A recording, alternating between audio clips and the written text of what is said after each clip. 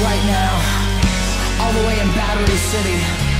The little children raise their open, filthy palms like tiny daggers up to heaven, and all the Jew